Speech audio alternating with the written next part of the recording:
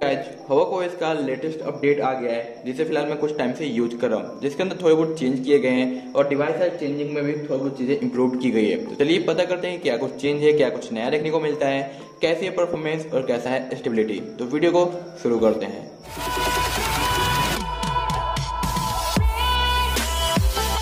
आपको Android version 10 देखने को मिलता है 3.2 होवोक वर्जन है 5 फैब का आपको सिक्योरिटी पैच लेवल देखने को मिलता है और यहाँ पे आपको फैब 23 का बिल्ड दिखाई देता है। यहाँ पे सिल्वर कोर कर्नेल है जो यहाँ पे यूज़ किया गया है। बैक की ओर चलते हैं तो यहाँ पे काफ़ी चीज़ें इंप्रूव हो गई है। टच रिस्पॉन्स मुझे काफ़ी ज़्यादा बेटर लग रहा है। पहले वाले होवोक के वर्जन के मुकाबले वहीं पे सिस्टम पे आते हैं तो multi user time and date वगैरह देखने को मिलता है। सिक्योरिटी का जो फिंगरप्रिंट रिस्पॉन्स है, वो भी काफ़ी ज़्यादा इंप्रूव हो गया है, क्योंकि पहले वाले एंड्रॉइड टेन पे हमें जो हल्का फुल्का स्लो फील होता था बट यहाँ पे फिंगरप्रिंट काफ़ी ज़्यादा इंप्रूव लग रहा है और काफ़ी ज़्यादा जो बेटर सा फील दे रहा है। तो फिंगरप्रिंट में आपको काफ़ी ज़्यादा अच्छा इंप्रूवमेंट देखने को मिल जाता है। साउंड के अंदर एम आई साउंड इनहेंसर का जो फॉन्ट यहाँ पे यूज़ किया गया है, ये काफ़ी ज़्यादा बोल्ड है सिस्टम फॉन्ट के कंपेयर तो ये थोड़ा सा आपको अलग सा दिखता है और यहाँ पे आइकन भी जो नए ऐड किए गए हैं, जो कि देखने में काफ़ी ज़्यादा कूल सा लगता है। वहीं पर अगर डिस्प्ले की बात करें तो लाइव डिस्प्ले वगैरह आपको मिल जाते हैं कलर्स भी मिल जाते हैं लॉक स्क्रीन वगैरह सेटिंग्स भी मिल जाता है। नॉट सर कटआउट और थीम का जो सपोर्ट है यहाँ पे, वो भी आपको टाइम एंड डेट वगैरह देखने को मिल जाता है। आगे ऊपर एक नया ऑप्शन इंट्रोड्यूस किया गया यानी दिखाया गया है ऐड किया गया है।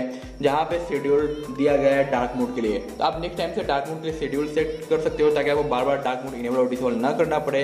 ऑटो जो इवनिंग के टाइम में या जो भी आप टाइम रखोगे डार्क मोड में चेंज हो जाएगा और ऑटो फिर ऑफ़ हो जाएगा। कई सारे फॉन्ट तो हमें से शुरू से मिलते आए हैं तो वो भी आपको अभी भी मिलते हैं। यहाँ पे कैरियर लेवल के अंदर बहुत सारी चीज़ें हैं जो कि पहले भी हमें देखने को मिलती थी, वो सारी चीज़ें आपको अभी भी दिखाई देती है। जिनमें जैसा था वैसा ही है, थोड़ा बहुत है जो हो ओएस की तरफ़ से जो चेंजिंग की गई है। बट डिवाइस सेट के चेंज की अगर हम बात करें, यहाँ पे जो एम आई मोजी का और पोर्ट्रेट का है, जो ब्लॉक्स ऐड कर दिया गया है तो अलग से आपको लिप्स वगैरह फ्लैप्स करने सॉरी लिप्स को फ्लैप्स करने की ज़रूरत नहीं पड़ेगी।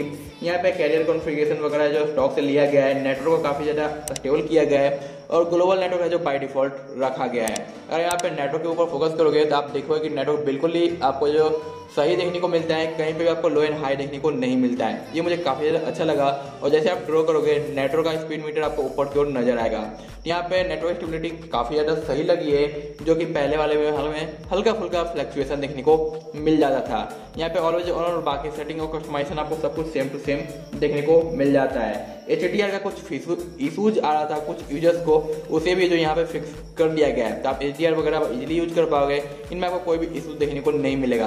एप्स ओपनिंग वगैरह का रिस्पॉन्स आपको काफ़ी ज़्यादा बेटर और ज़बरदस्त देखने को मिल जाता है। वहीं पे आपको साथ साथ एलेवन का सपोर्ट भी प्रोवाइड किया गया है। कि आप नेटफ्लिक्स और अमेजन प्राइम वगैरह सब कुछ यूज़ कर पाओगे रूट करने के बाद। वहीं पे अगर नेट सेफ्टी की बात करें तो नेट सेफ्टी भी आपको जो फुल्ली पास देखने को मिलता है। तो आपको बैंकिंग ऐप से रिगार्डिंग कोई भी इशूज जो देखने को नहीं मिलेगा। आप यहाँ पे इजिली जो पिक्सल का लेटेस्ट वाला जीके भी यूज़ कर पाओगे, कोई भी इशूज आपको यहाँ पे देखने को नहीं मिलता है तो आप आसानी से यूज़ कर सकते हो। वहीं पे अगर इसके बेंच मार्क यानी अन टू टू के नंबर की बात करें तो हमें यहाँ पे three three two two four three का स्कोर देखने को मिलता है, जो कि eight point one point eight वाले बेंच मार्क पे मैंने जो चेक किया है।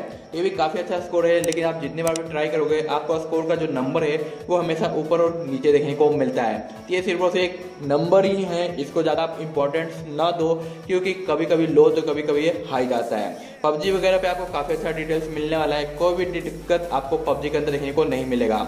और यहाँ पे काफ़ी ज़्यादा स्मूथ और फ्लक्चुएट है जो आपको देखने को मिलता है, इसकी परफॉर्मेंस वगैरह।